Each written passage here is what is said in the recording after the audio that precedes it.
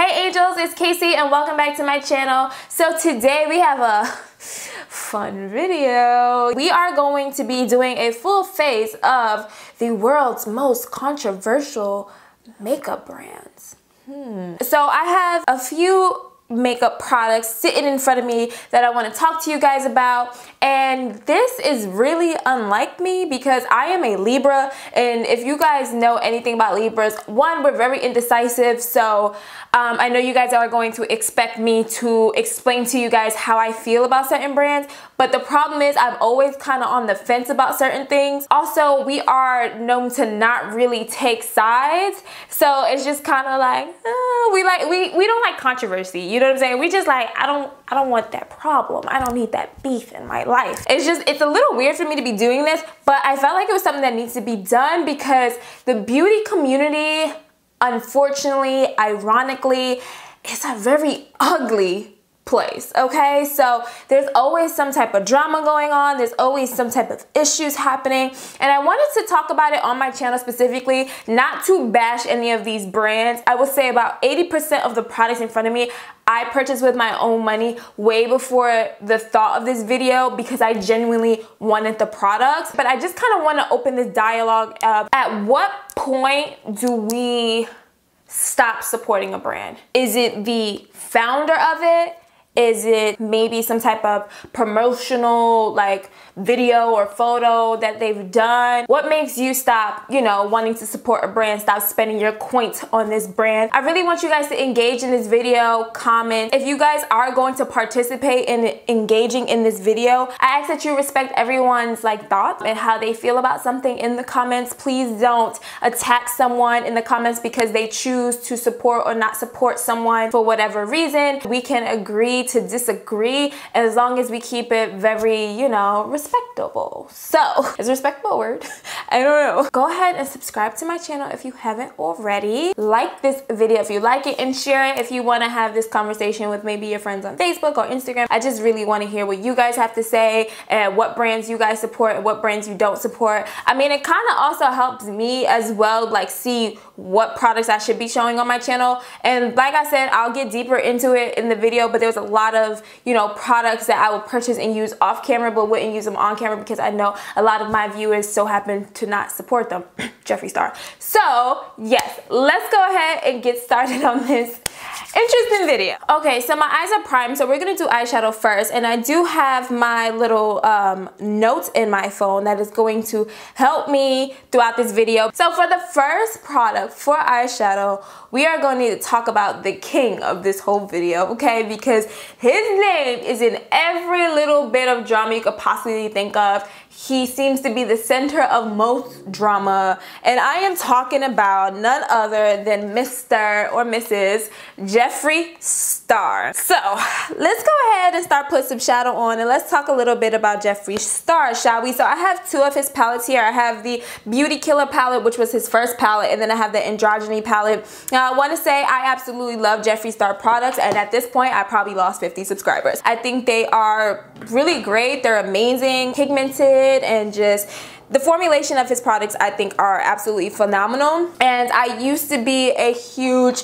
Jeffree Star fan like a die-hard Jeffree Star fan. I actually uh, found Jeffree Star when he was still doing music. I found him through that Nicki Minaj and Jeffree Star song. And so this was during the MySpace days and then I've always I just always loved him. I got a chance to meet him. I took pictures with him.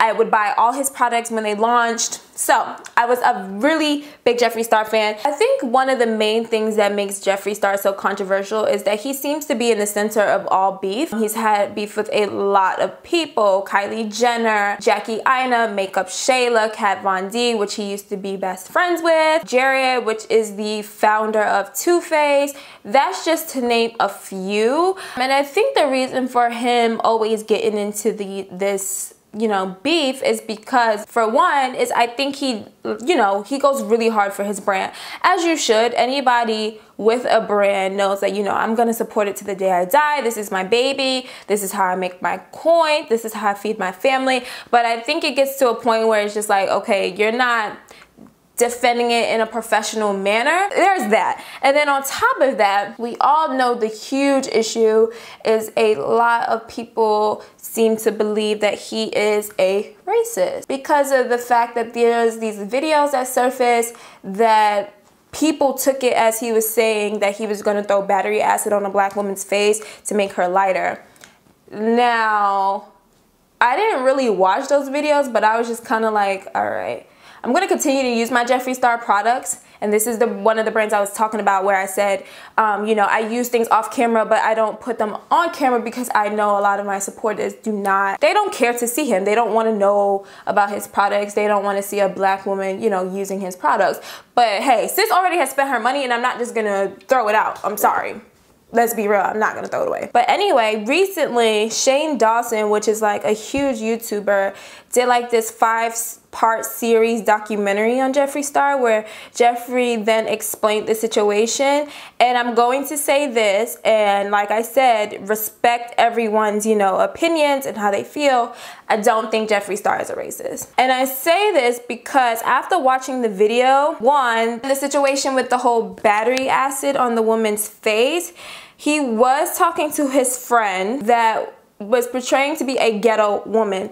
Did the guy ever say that this ghetto woman he was pretending to be was black? No. There's so, like, every race in the world can be ghetto. Trust me, I've met them. I live in New York. Like, every race in the entire world can be ghetto. I think that's an insecurity on our part, is that we see someone act ghetto and then we automatically assume that they're trying to portray a black woman. And it's just like, I don't know. To me, it's just like, okay, he didn't say he was, you know, being a black woman. He didn't say anything about race at all. He was just acting ratchet. He didn't even have a ghetto name. If if he has some type of name that's more popular amongst the black community, then I would say like, okay, yeah, he's trying to pretend to be a black woman. And the whole battery acid part was Jeffree Star saying that her foundation didn't match, so he wanted to throw battery acid on her to make the foundation match. That could have meant the foundation was too orange. That could have meant so many things. I don't know. Just to me, in my opinion, I just don't think that he's a racist. Um, and a lot of people feel that he's also racist because of the fact that he had beef with Jackie Aina and Makeup Shayla. But like I said before, he has had beef with so many people. So I just feel like, okay, just because if, okay, put it like this. If I've had a fight with five, six black women, and then I go have a fight with three white women. Does that mean I'm racist? Does, does that mean I'm racist against white people? No. That just means I'm probably an asshole. Let's just be real. That's that's there's probably something wrong with me, like I can't shut my mouth or I'm fake and I talk about people or something like that. But that does not mean I'm a racist. And I also feel like people saying that oh he called Jackie Aina a rat. A rat is not a racial slur. If he would have called her the N-word, then guys, I would have been all with it. Like, I, I totally would feel you on that. But he just did it. So, I don't know. I just don't think that he's a racist. This probably would be the only time you guys see his products on my channel. But like I said, I will not be throwing his products away. So you guys leave your comments down below. I'll probably leave a poll. Do you feel that Jeffree Star is racist? Do you feel that he's changing? How do you guys feel about that? The next controversial makeup brand that we will be talking about is Kat Von D. And I just felt like it was just right to use Kat Von D directly after Jeffree Star after all that they've been through. So I have the uh, tattoo liner here. I've never used this before. I literally just brought this for the video. We are going to be winging this out. If you don't know who Kat Von D is, she is a, this is trash cat. What is this? There's just a few things that people just don't like about her personally for me, I don't care. Like, you know, I've I have about um now three Kat Von D products. They're okay. They're not a brand that I stand for, um, but a lot of people seem to really love her and her brand. What makes Kat Von D's brand controversial? I don't really know if it's much about the brand, but more so about the founder. I think most people don't support Kat Von D's brand because of Kat Von D herself, not because the products aren't good or anything like that. Besides the fact that she's had beef with Jeffree Star, a lot of people don't support her because one, she had a product called Underage and people felt like the name of that was just 100% inappropriate. Another thing that people didn't like about Kat Von D was the fact that she actually had a contest, some type of contest, I don't know girl. They actually selected a Trump supporter as the winner. So a lot of people didn't like that. So the latest drama with Kat Von D, besides the, you know, Jeffree beef and the underage lipstick name, it was the fact that she made a post that she's choosing not to vaccinate her child. And a lot of people were highly upset about that and, you know, they consider Kat Von D canceled. She feels that it does more harm than good and there's obviously hundreds of thousands people who happen to disagree with her. I'm gonna be returning this eyeliner. I don't like it. But anyway, I don't really hate, I don't hate Kat Von D. I don't love her either. I don't stand for her. I'm just like whatever about her. Do you guys like stop supporting a brand because of what they name their products? Do you stop supporting a brand because of their religious or political or what they choose to do with their children, like their views on those things? Like are any of the reasons that people are saying Kat Von D is controversial or you know is canceled are those any of the reasons that you would you know cancel Kat? I'm gonna go ahead and move to face where we have a lot more products to talk about. And for primer and foundation we're going to be using the same brand that I did get some comments that people felt that they were you know part of this controversy that is going to be Too Faced. Now, I'm just gonna flat out say it right now. I support Too Faced. I like Too Faced products. I'm going to continue to use Too Faced. So I'm just going to put that out there because I know you guys are probably gonna ask me, well, how do I feel about it? I do like Too Faced. I'm gonna use the Hangover RX Primer. If you guys are wondering why Too Faced is included in this video, it's mainly because the founder, Jerrod, seems to be um, a few little beefs here and there. One of the main things was his beef with, started off with Tarte and then kind of spiraled into a Jeffree Star. And Jerrod made like a comment when Tarte came out with a unicorn collection saying that there's no unicorns in the Amazon or something like that. Some, something along those lines. Now, a lot of people thought that was stupid because like, let's be real, Too Faced did not create unicorns. And a brand, if they want to use unicorns because it's on trends and whatever, use unicorns. So a lot of people did not like or respect that. And one of the main people being Jeffree Star, which started a whole beef and like Jerrod's sister was saying nasty things. So a lot of people just felt like that wasn't professional and they did not want to support Too Faced after that. Throughout this beef, there was like some things that came to the light of Too Faced not paying Nikkie Tutorials enough money for her palette. She finally came out not that long ago with a video basically saying it had nothing to do with the money. Yes, she was young and dumb and didn't negotiate what she should have, but you know, she learned her lesson. It wasn't negotiation. It wasn't a surprise what she was paid. She agreed upon that. What the problem was, Too Faced did some shady things behind her back as far as the formulation of her palette.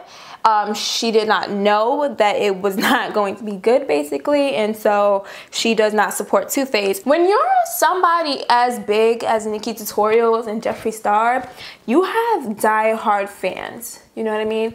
And with that being said, let's say I have 5 million subscribers and I came out um, and said that a brand that I once collaborated with did me real dirty. Some of them diehard fans are gonna choose to cancel that brand. They're gonna be like, well, I'm not supporting them because they did you that way. Did they screw over Nikkie Tutorials? Probably. There's three sides to every story. There's your side, their side, and the truth. So I wasn't there. I don't know nothing that happened. I continue to support Too Faced. So that's just how I feel about it. So now that we have our foundation on, it's time for some drama in the concealer world and we have Tarte Shape Tape Concealer.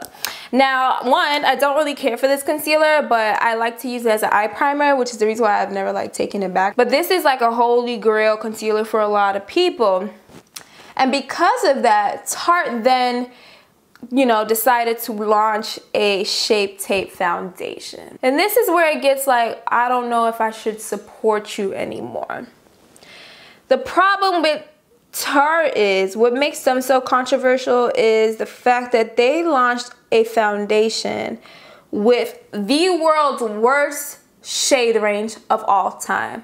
It was not inclusive at all. It did not represent people that were really, really fair, and it definitely did not represent anyone with a deeper complexion. It was actually quite embarrassing, their shade range. A lot of beauty bloggers decided to then cancel them, which I don't blame them, um, because it's like you use me to promote your brand, to make you money, but then you don't even think of me when you're making a foundation. That's wrong.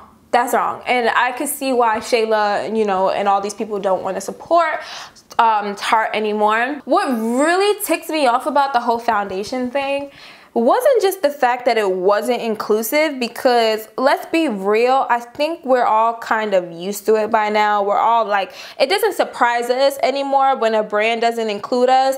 I feel like it's more surprising when a brand does include us which is so sad to say but it's the truth. What really pissed me off was that instead of just giving a real like apology and say like we were wrong. Um, we will fix this. We will stop the launch and you know make this better for everyone and make it more inclusive no matter how long it takes no matter the money whatever. They decided i think it was supposed to drop like during the was it like the winter or something like that? It was during some season. I guess it was the winter. And their reasoning for the shade range was because we tend to be lighter during the colder months. What the hell does that mean? I have never ever in my life been lighter than an NC44, okay? I've never been an NC25. I don't know no black woman that's an NW55 that been an NC30 just because it is December. That makes absolutely no sense. Do we get lighter in the winter? Absolutely. Do we get darker in the summer? Absolutely. However, it is not a drastic change where you can make one shade for a black woman and say, well, you'll fit the other ones during the colder months. That is a poor ass excuse, okay? And I didn't forget, y'all. You see when I'm blending this makeup out with? A beauty blender. And I definitely did that on purpose because Beauty Blender has been on the whole controversy list as well.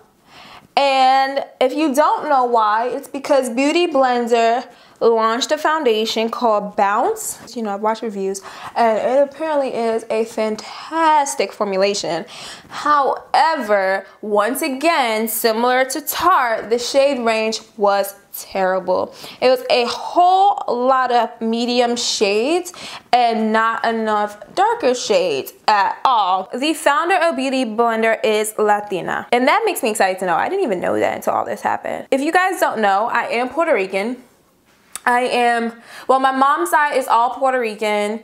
Um, my dad's side is like Cuban and Bajan or whatever. So I am an Afro-Latina. Yes, I'm black, but you know, I am Hispanic at the same time. Her reasoning for the fact that there were so many middle shades and not enough darker shades or any other shade was because she was trying to target the Latin community, I guess you can say, because we could never find our foundation. Now, my issue with that is that if I posted photos of my family members and friends that is Hispanic or however you want to say it in this video, you will see them range from the lightest shade possible to the darkest shade possible. I have people in my family, they are dark in complexion, like super dark. I have friends that is exactly what I am, that is like 30 shades lighter than me.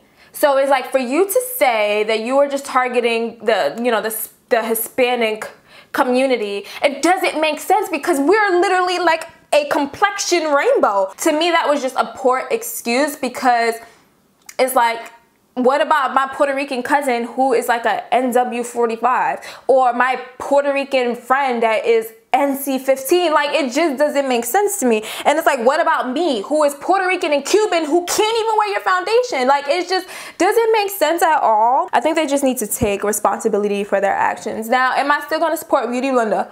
I'm gonna still support the beauty blenders that I have I ain't throwing these away. These are $20 a pop and I got like 50 of them, okay? This is expensive. I'm still gonna use my beauty blenders, absolutely. Will I be buying any new beauty blenders? No.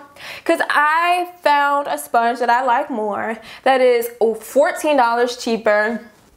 And so I'm just going to use those. The next product, Huda beauty. So I felt like what when I was like placing, okay, I'm gonna use this brand for this thing and this thing and things. I was like, what other product to use from Huda than the Easy Bake Powder, which definitely gave Huda a lot, a lot, a lot of attention. She has like a quadrillion followers on social media. Now, the reason why um, Huda is controversial, one, a lot of people feel like she does not support the black or LGBT community on her Instagram page. Some people said it could be because of her religion, because I think she's from Dubai or something like that. So it could be because of that. I don't know. And then the reason why I specifically wanted to use the Easy Bake powder for this video is because allegedly she had stole the concept for the promotional photos of this powder from the indie brand beauty bakery and basically like the photos was pretty much identical like it could have been if i didn't know better if if i showed the two photos to like to a guy who knows nothing about makeup or to a girl who knows nothing about makeup and i would be like is this the same brand? They would probably say absolutely. Like this is the same brand. It's just a black woman showing her powder and like uh, Middle Eastern or whatever you want to say woman showing her powder. And when she was called out by it by Jackie Aina as well as uh, Jeffree Star, she didn't admit to getting any inspiration from them. She just did this long video um, showing where she got her inspiration from, but it had nothing to do with Beauty Bakery. And a lot of people felt like that was messed up So still, not only from a black owned brand, but a black owned indie brand. I don't know for a fact if she stole it or not. Call me naive, I don't know. I feel like the only person who would know is her and her team, right? That's really what it boils down to. Could she have never seen it before? Maybe. I don't know. Do I think she probably seen it? I, I do. I do think she's seen it before, but I can't say for sure she saw it, she stole it. Like, I cannot do that. Okay, guys, and I'm back. I finished baking, and I took that powder off. We added some lashes and pretty much finished the eyes because there's nothing else to talk about with eyes. The crazy thing about it is that this Huda Beauty powder is actually really nice. I want to move on to bronzing contouring. And for that the brand that I will be talking about that is also pretty controversial I keep saying that throughout the video clearly that's what the whole video is about is going to be Morphe.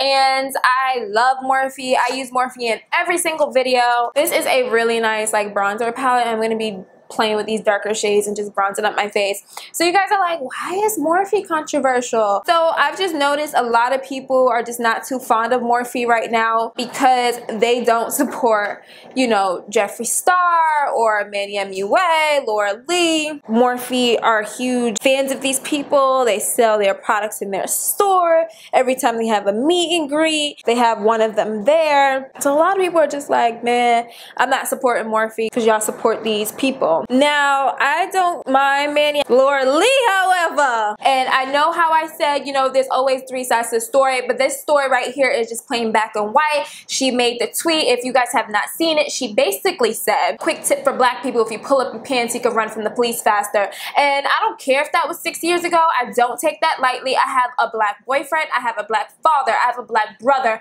I have, well, two black brothers. I have black cousins. I have a lot of black males that in my life that mean a lot to me. And and to sit here and watch these black men be killed by police every single day, I do not take a joke like that lightly. So I don't care how many years ago it was, Laura Lee is canceled. She's not in this video. I wouldn't even waste my coin just to make a video, you know, talking about her to return it back. Like, I, I just won't. So that's where I stand with that. However, I still really do like Morphe. So I can see why a lot of people don't want to support them. And also, a lot of people just find, you know, their collaborations with Jaclyn Hill like scandalous in type of way. I don't know.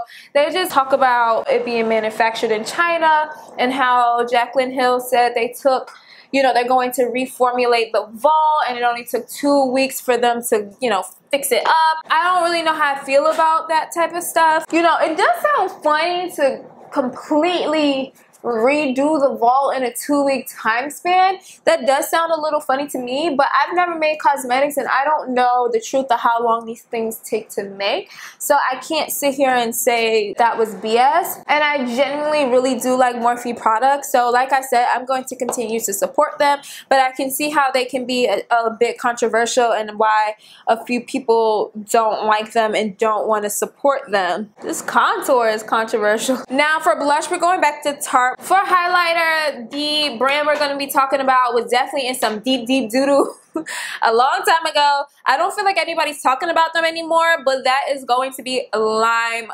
Crime. So the problem with Lime Crime was that a lot of people did not support them after their like website got hacked or something like that. Thousands of dollars were stolen from customers um, out of their bank account. Whenever if they ordered from Lime Crime between a certain time period, it was like October to something. I don't remember what the months were, but if you you like ordered from them your information pretty much got stolen. And apparently Lime Crime kept quiet about it until it kind of blew up in their face. So a lot of people canceled them and I could 100% see why somebody would choose to cancel them after they've had money that they used for food and transportation and bills and everything like that stolen out their account and they weren't informed of it. Really not too sure what happened after that. I really hope that everyone did get their money back. I'm sure that they did. But yes, that is the reason why Lime Crime is so controversial, as well as their former CEO, Doe Deer. I heard she did step down, but a lot of people claim that she was not a nice person, that she was racist. I don't know. I don't know how I feel about that. I really do like Lime Crime's products, and I do still buy their products. I'm going to be honest with you guys. There was just not enough for me to be like, I'm never buying Lime Crime again. However, I don't order from their website. I wait till their products are in Urban Outfitters if I want something before I IMAX or I save up a couple of coins and then make a list of the things I want and I purchase them at IMAX just to be safe because I don't want it to happen again. We're gearing to the end of this video. This is a long one and if you stuck around, thank you guys so much. I'm to go ahead and line my lips. For lipstick, the controversial brand I will be talking about is Kylie Cosmetics and this kind of ties into KKW as well or all Kardashian Jenner makeup brands. I'm sorry guys, I could not apply that and talk about why I added them into this video at the same time. So the reason why they are added into this video is because it's no secret that people out of love and adore the Kardashian and Jenner clan or they hate them with a passion. I am in the middle, once again, being my Libra self. The problem with them is that a lot of people feel as if they steal from the black culture hairstyles and trends and just things like that. They steal from the black culture without giving credit to the black culture and they turn it into their own as if they created it themselves as well as the fact that they are all married to or have children with black men. However, with the billions of people who watch and love them, they do not speak up and use their platform to talk about the issues that these black men go through, such as police brutality and, you know, things of that nature. A lot of people just feel like you're going to, you want to be black until it's time to actually be black.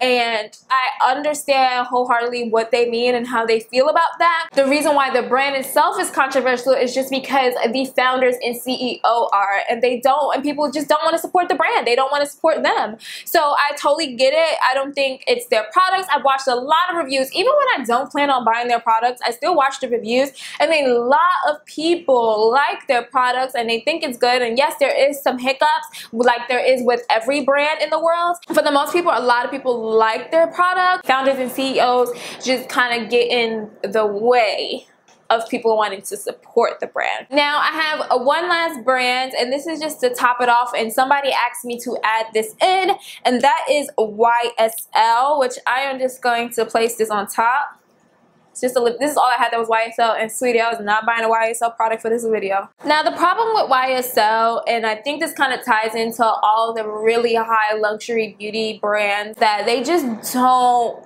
think about us black women. And I don't know if they just feel that we do not have the finances to purchase their products. I don't know what the reasoning is, but there is a foundation that I think they are launching, which Makeup Shayla did swatch, and the shade range is just so terrible. And it's just like, when are you guys gonna learn that we got money, okay? We can shop all right love makeup just like the next person we need to be included into your foundation ranges if you're going to launch foundation this goes from drugstore to the most expensive luxurious brand known to man if you're going to launch foundations or concealers or powders or anything in that nature, it should be inclusive. That is it. So that is my full face of controversial brands. I know this video is about to be hella long, y'all. It's about to be so long. But if you stuck it through, please give it a thumbs up. I appreciate you so much. And don't forget to subscribe. And let's open this conversation. At what point do you stop promoting or supporting a brand? What makes you tick? What makes you say, forget this, I would never purchase this brand again? Will you throw out the products that you previously had? Would you keep on using them? If 95% of my viewers say they don't want to see something and I'm not going to show it. There's no point. So that's what makes me not want to show a brand. So interested and nervous to see where these comments go but I was also really excited and geeked to film it at the same time. Subscribe to this channel, leave comments down below. I love you so much angels and I will see you in the next one. Bye!